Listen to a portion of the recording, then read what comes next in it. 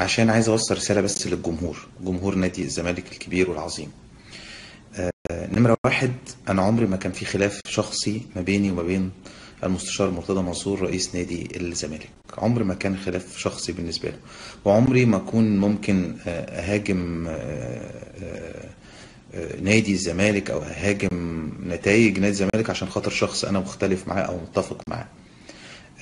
بالعكس يعني نادي الزمالك عندي نمرة واحد. نمرة اتنين مستشار مرتضى طلع آه، تلفظ عليا بألفاظ وقال كلام غير حقيقي.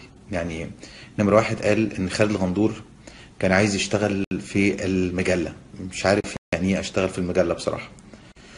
آه، وهل المجلة دي مثلا حاجة كبيرة جدا يعني إن الواحد يشتغل فيها؟ أنا اولا مش صحفي. نمرة اتنين إيه أشتغل في المجلة؟ يعني خالد غندور ده كان أي واحد ماشي جنب النادي له تاريخ وملوش تاريخ يشتغل في نادي الزمالك. أنا عمري ما استفدت من نادي الزمالك ولا عايز أستفيد. يعني آه، فكرة إن أنا أشتغل في مجلة نادي الزمالك دي حاجة غريبة جدا يعني. طب هل معنى مثلا كده إن أنا كنت عايز أشتغل في مجلة نادي الزمالك فرئيس نادي الزمالك رفض؟ فأنا آه، مختلف معاه عشان كنت عايز أشتغل في مجلة الزمالك؟ طب بالمنطق كده في نفس كلام المستشار مرتضى منصور قال آه، ده أنا عمال أتحايل على يعقوب السعدي اللي هو رئيس قناة أبو ظبي عشان أشغله. طيب لو أنا لو انت بتتحايل على يعقوب السعدي عشان تشغلني طب ما أنا لو كنت عايز اشتغل في المجله وانت رئيس نادي الزمالك ما كنتش شغلتني. إيه- يعني إيه إيه العكس عكاس ده يعني؟ يعني في نفس الوقت انت رئيس نادي الزمالك وانت آه، رئيس مجلس إدارة المجلة. فلو أنا عايز اشتغل في المجله تشغلني فانا كنت عايز اشتغل في المجلة فما شغلتنيش. وفي نفس الوقت بتتحايل على يعقوب السعدي عشان يشغلني. ف يعني ما بقتش فاهم يعني انت عايز تشغلني ولا تشغلنيش وأنا عايز إيه بالظبط. وفي النهاية أنا إعلامي يعني يعني مش بشتغل في مجلة يعني أنا بشتغل في نمرة اتنين. لازم الناس تعرف كلها إن كل القنوات اللي أنا مشيت منها كانت بسبب المستشار مرتضى منصور. يعني كل القنوات القناة ON TV ما مشيت كان بسبب الكلام اللي راح اتقال لنجيب ساويرس واتقال لأكثر من واحد عشان يمشيني. تمام؟ دي نمرة واحد نمرة اتنين إما أنا كنت موجود في ON كان سبب رحيلي إن أنا بدخل المستشار مرتضى منصور معايا في LTC في كان ممنوع في كل قناه وأنا كنت بدخله. وساعتها الناس تقول لي إيه الشيزوفرينيا دي يا خالد؟ هو عشان ما ما بيخش معاك دلوقتي؟ معلش مع احترامي. الموضوع إن هو ما بيخش أو بيخش معايا. ما أنا أنا ما بقتش أتصل بيه خالص. لكن هنا السؤال لما كان مستشار مرتضى منصور كان ممنوع؟ كنت ساعتها بدخل مستشار مرتضى اللي هو رئيس نادي الزمالك اللي حصل على دوري وكأس وكان بياخد كل بطولات الصالات وكان في كرة اليد نمرة واحد ومتأهل كأس عالم للأندية وكان كل البطولات على مستوى ال- الكورة والصالات وكده كان الراجل ماشي 10 10 وكان بيطور في نادي الزمالك من الداخل وكان بيبنيه من أول وجديد. فطبعا ده, شيء. نمرة اتنين آه، لازم الناس تعرف كمان إن إيه بداية الخلاف مع مع المستشار مرتضى منصور؟ المستشار مرتضى منصور كان معايا الأستاذ أبو معاطي زكي والأستاذ بليغ أبو عايد في دريم تمام؟ المستشار مرتضى بعت لي رسالة كانوا بينتقدوه بكل أدب واحترام. هو لا يقبل النقد. فبعت لي رسالة قال لي أنا عايز أرد وليه حق الرد. قلت بره الهوا قلت ال- الإخراج والإعداد كلموا مستشار مرتضى منصور له حق الرد. حتى ضيوفي قال له ما عندوش مشكلة ما عندهمش مشكلة. أول ما دخل راح قال الأستاذ أبو معاطي زكي أستاذ بليغ أبو عايد إيه المرضى النفسيين اللي معاك دول؟ في المقابل أستاذ أبو معاطي اتنرفز واستاذ بليغ أبو عايد وردوا عليه وردوا عليه بنفس الرد واتخناقة وبتاع وانتهت القصة خليتهم يتكلموا بره الهوا هديوا رحت مدخله تاني ساعة كاملة قعد يتكلم وطلع كل جواه وانتهى. تاني يوم أنت جايب ناس تشتمني أنت جايب معرفش إيه رغم إن هو دخل معايا وكل حاجة مفيش مشكلة. بعديها بثلاث أربع أيام كابتن أحمد سليمان أحمد جلال رئيس تحرير الراديو حابب إن الكابتن أحمد سليمان يعمل مداخلة وده رئيس تحرير البرنامج فدخل كابتن أحمد سليمان فإزاي كابتن أحمد سليمان يخش معايا في الراديو؟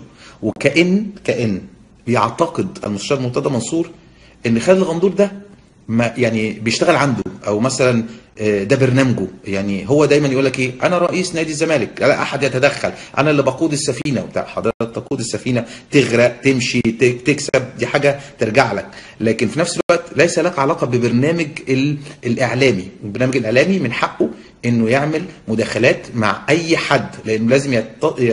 يكون عنده حيادية في تناول المواضيع. فأنت ما تجيش تقول أنا عندي حق الرد. وفي نفس الوقت لو اتكلمت على حد فالحد ده عايز يخش فما يبقاش له حق الرد. يبقى كده في تناقض. يعني إزاي انت بتطالب بحق الرد لو حد جاب سيرتك أو اتكلم عليك وفي نفس الوقت انت تتكلم على الناس ولو هم دخلوا يبقى لا ما يخشوش وما لهمش حق الرد ويبقى كل الناس بتشتم. نمرة اتنين. بيتقال ان أنا شتمت المستشار مرتضى منصور طبعا عايز اعرف أنا شتمت المستشار منصور في إيه؟ يعني إيه إيه اللفظ اللي أنا شتمت المستشار مرتضى منصور بيه ولا هو كلام وخلاص يعني كلام يعني لازم نقول خالد غندور شتمني فخالد غندور شتمني إيه في إيه هل النقد بقى شتيمة؟ هل لما نقول مثلا في لعيبة جاية غير المستوى إن لازم يكون في إدارة، لازم يكون في اختيار، لازم يكون في استقرار، كل ده الشتيمه اسمه شتيمة في عرف وقاموس المستشار مرتضى منصور؟ برضو حاجة آه، لا منطقية. نمرة اثنين الغريبة بقى والعجيبة المستشار مرتضى منصور يقال يعني والله العظيم أنا مش متابع بس ناس بتقول لي والله إن المستشار مرتضى منصور دخل قال أنا أيام ما كنت موجود آه، خالد ع- ع- خليت غادة غندور يعتزل ويمشي ويروح الترسانة. وده كلام غير حقيقي بالمرة بالعكس. ده المستشار مرتضى منصور هو اللي كان واقف جنبي. يعني المستشار مرتضى منصور في ذاك الوقت وأنا قلت الكلام ده وهو موجود معايا بعد أكتر من سنة وهو عارف الموضوع ده فمش عارف يتغير المستشار مرتضى منصور إزاي؟ إذا كان الدكتور كمال درويش كان داخل انتخابات ضد المستشار مرتضى منصور فطلع المستشار مرتضى منصور وقال خالد غندور تاريخه أكبر من تاريخ كمال درويش. فالدكتور كمال درويش زعل وساعتها قرر إنه يأيد رضا سيكا وما يأيدنيش أنا. سافرت البرتغال مع فينجادا كنت أحسن لعيب في المعسكر في وجود دكتور كمال درويش. ورغم كده أصر والمستشار مرتضى منصور يكلمني أكتر من مرة والله هتتأيد يا خالد والله أنت هتتأيد. انت لعيب كبير انت انت يعني المستشار مرتضى منصور كان مساند ليا كان هو أكتر واحد عايزني ابقى في نادي الزمالك لولا الخلاف الانتخابي ما بينه وما بين الدكتور كمال درويش. وأنا حكيت الموضوع ده في أكتر من موقف وان المستشار مرتضى منصور مرتضى منصور كان مساند ليا هو عايزني اقعد والدكتور كمال هو اللي عايزني امشي وكان خلاف انتخابي وقعد رضا سيكا ورضا سيكا ساعتها قعد طول الموسم ما لعبش ولا ماتش. رغم ان فنجاده بعت ورقه بيطالب بان أنا لازم اكون موجود في الفرقه. وظلمت مش مهم مفيش أي مشكلة. فاذا يعني يعني إيه اعتزل وأنا موجود؟ آه كنت نائب بس أنت كنت عايزني اقعد يعني أنت راجل مساند ليا يعني أنا راجل سعيد بيك. بعد كده الكلام ده يا جماعة كانت سنة الكلام ده يعني كانت سنة 2004 مثلا يعني. ومستشار مرتضى منصور كلمنا وشفنا بعض وبقى ضيف معايا في أكتر من برنامج. إيه اللي رجعنا ل 13 سنة ورا يعني؟ هو أي خلاف؟ وإيه حازم إمام عليه ضرايب إيه إيه إيش دخل ده في ده؟ أنا ما بقتش فاهم حاجة بصراحة. آه، أنا بوجه رسالة من هنا. مستشار مرتضى منصور على فكرة في النهاية يعني هو مش خناقة يعني ما هو ممكن بعد كده بعد شهر شهرين ثلاثة نرجع نتصالح ونتكلم ويبقى في علاقة. طبيعي ومنطقي هي مش خناقة يعني. هي في النهاية حبا في نادي إحنا كلنا بنحبه وبنحترمه وبنتمنى له الخير. يعني أنا كخالد غندور أسعد إنسان في الدنيا لما ألاقي المستشار مرتضى منصور ناجح في عمله وناجح في آه، إدارة النادي وبيجيب بطولات. لكن هل ينفع المستشار مرتضى منصور يطلع في التلفزيون بقرار كده ديكتاتوري من نفسه كده من غير اجتماع مجلس إدارة؟ الخمسة دول مش داخلين النادي.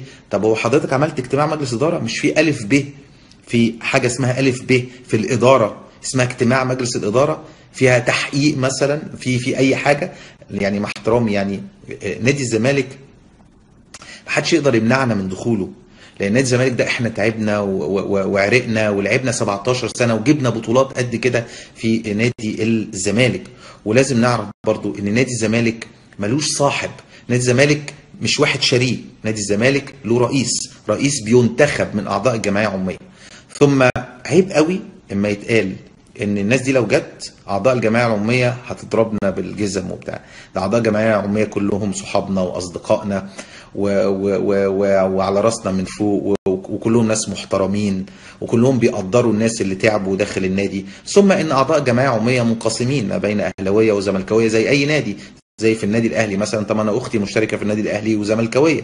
وبالتالي لابد إن أنا أكون قوي أقول لو جمهور الزمالك هيضربهم. يعني لازم أما أجي أمسك كده أمسك جمهور ملايين من الملايين. كل الاحترام والتقدير لاعضاء الجمعيه العموميه وأنا أتمنى إن لا أحد يتكلم بلسانهم إن هم يجوا يضربوا لعيبة زي حازم إمام أو أحمد حسام ميدو أو محمد أبو عيله أو أيمن يونس أو أنا بالجزم عيب يعني.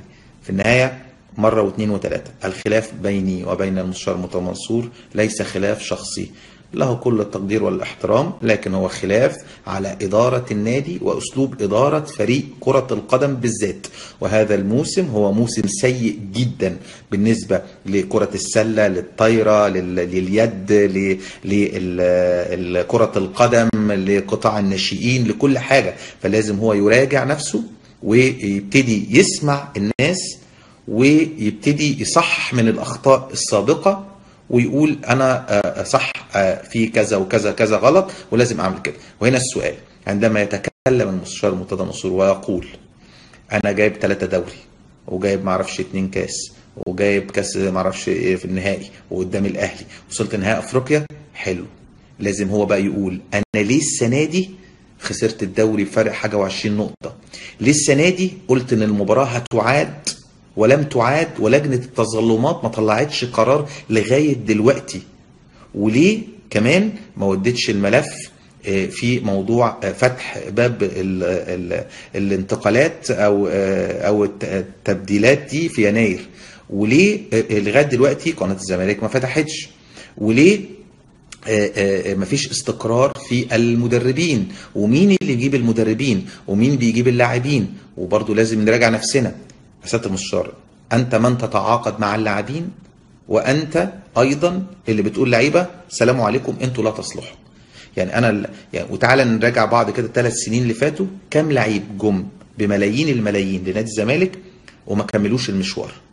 وكام لعيب عشان نكون منصف كام لعيب نادي الزمالك جابهم واستفاد منهم؟ زي كهربا زي مصطفى فتحي لعيبة جت بمبالغ مش كبيرة واتباعت بمبالغ كبيرة ونادي الزمالك استفاد منها. لكن في لعيبة كتير جدا جدا جت نادي الزمالك مشيت ولم يستفد نادي الزمالك منها نهائيا وجت بملايين.